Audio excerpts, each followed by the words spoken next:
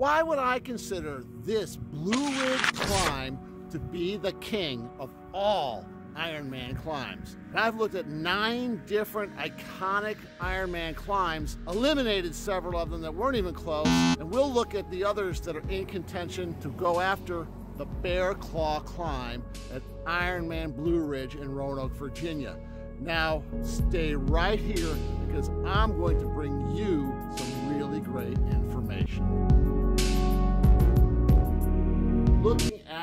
most iconic Ironman climbs, I had to set some criteria. How you determine which one of these becomes part of our group, I've set three bullet points. Number one, it must be an Ironman branded event. They're the biggest and they have the largest pool of races to pull from. Number two, had to be a half or a full Ironman event. Number three, we're talking individual climb. We're not talking the hilliest course we're not talking the most elevation gain through the whole course. We are talking about an individual climb. So what did I do? It came down to looking at nine races that had individual climbs that were considered to be ones that worthy of taking a look at. How did I find them? Well, I Googled these phrases. Ironman climb, epic Ironman climb, best Ironman climb, hardest Ironman climbs, and iconic Ironman climbs. And that brought me to several lists on the internet where I took and looked at the individual profiles of 30 races to come up with these nine races. After looking at those nine races,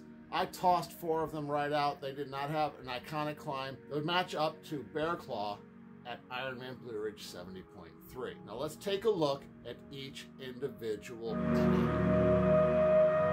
Today's video is being brought to us by JS Coaching Systems Individual Training. I would love the opportunity to interview to be your coach. So email me right here. I'll send you a questionnaire and get a chance to start the interview process. On to our contenders.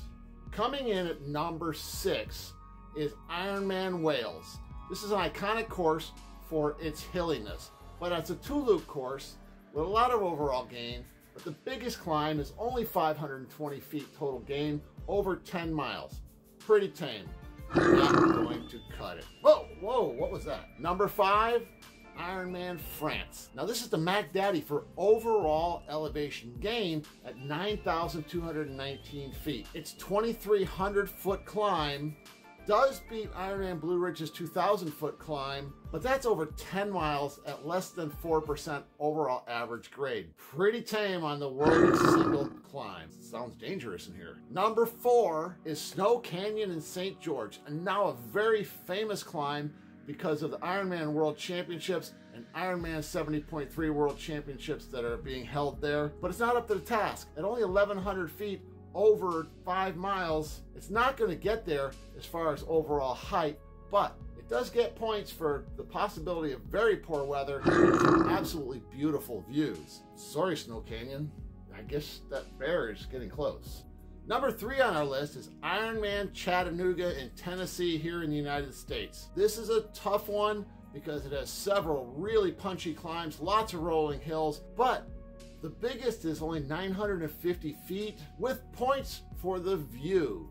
But guys, just not cutting it. Number two is Ironman Hawaii. It's a tough course. It's an iconic course. It's a well-known course, but the toughest climb there is 700 feet over four miles. But the reason that this one comes in number two is because it gets tons and tons and tons of weather points. The views are amazing, but the wind can knock you right off the bike. But 700 feet, Ironman Hawaii. Aloha, folks. You're just not there. Now, that comes to our number one contender. This course really set the standard as far as tough, iconic climbs. There are several climbs on this course that could have made the list above several of the other total races that we saw, but it takes place on a desolate volcanic wasteland and it's open to, again, punishing crosswinds several contending climbs, as I said, but the biggest and the toughest of the climbs is Fire Mountain. This climb is 1,328 feet over seven miles and is a contender because of the conditions that you would have to ride in. That's a good one, but right now I want to show you why I believe that the Bear Claw climb at Ironman Blue Ridge is the most iconic climb.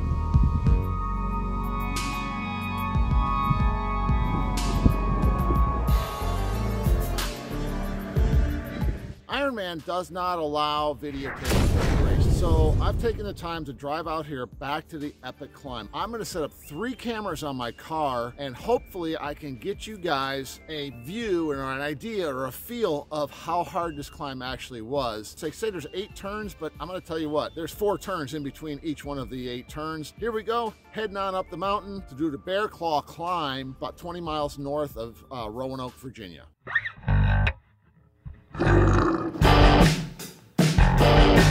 So after a beautiful swim and a split transition coming on that one, we hit a 20 mile rolling hill ride with a negative gain before we got to this cute little town of Buchanan, made a right turn, fast downhill, right again, in an uphill grade that climbs 2,000 feet up with not one flat or one downhill section. What I've done is I'm driving up at 20 miles and I have the speed ramped up on certain sections of the video to help get up to the good stuff quicker. At the bottom, you're looking at about a 5.5% grade.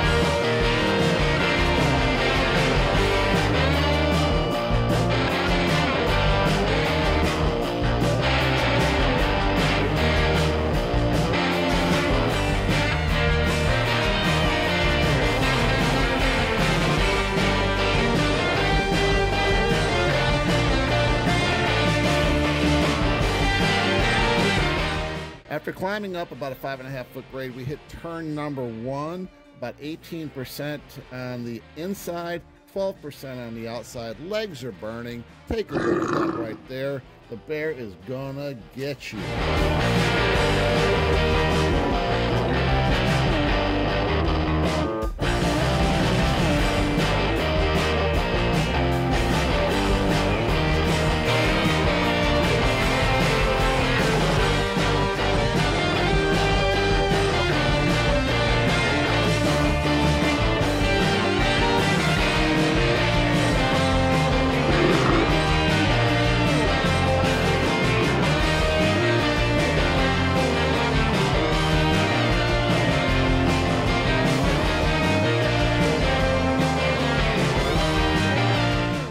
Inside to the outside, trying to get up these hills.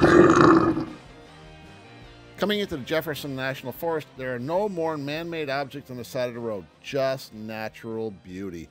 Now we're climbing up the five and a half to six and a half percent grade, heading up toward turn four.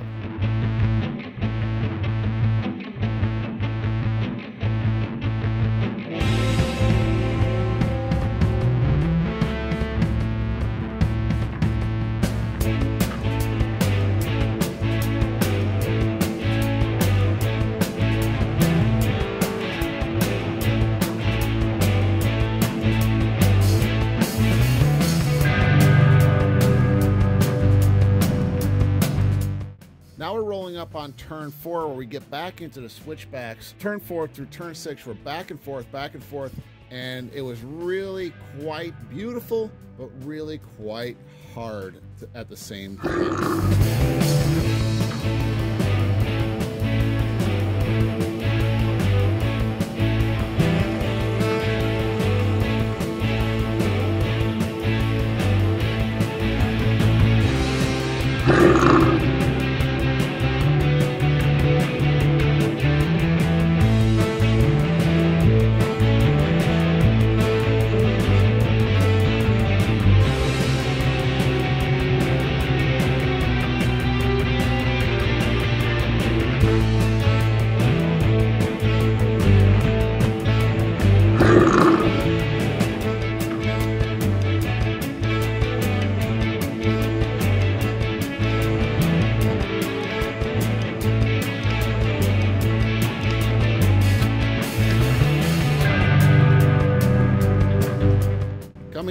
Turn seven, your legs are getting tired, they're starting to hurt, and you hit a pretty good turn here, quite steep on the inside. you can go to the outside and miss that steep part. After some more S's, we'll get into the turn 8 area where you have a 6.5 average all the way to the top.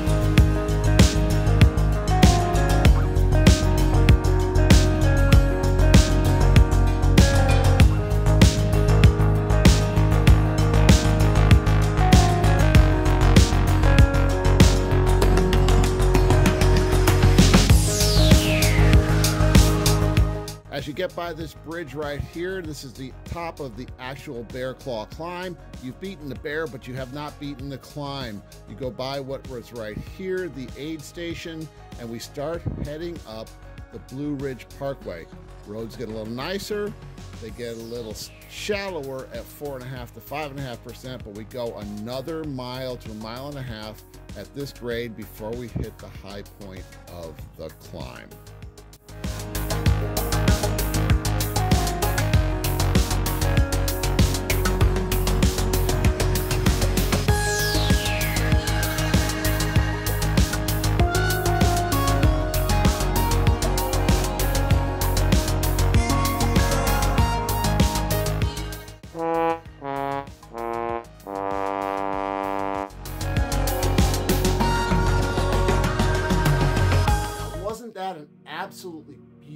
Ride. The point you enter to Jefferson Forest, all the way to the top of the hill, there's no structures, no driveways, no roads coming in. It is absolutely you and the beauty of the area. The top of the climb is the payoff. You get to ride about seven miles dead on the top of the closed Blue Ridge Parkway with views that no other course possibly offer. It is absolutely spectacular. Don't let this climb intimidate you. Train for it, set up your bike for it, and get that euphoric feeling when you beat the claw. Hey, drop down below in the description and tell me what you thought of the claw if you did it, or if you have a climb that you think could challenge the claw for the best. But how do you train for this? Well, check out this video right here on simulated hill climbing. Don't forget to subscribe. This is Coach John.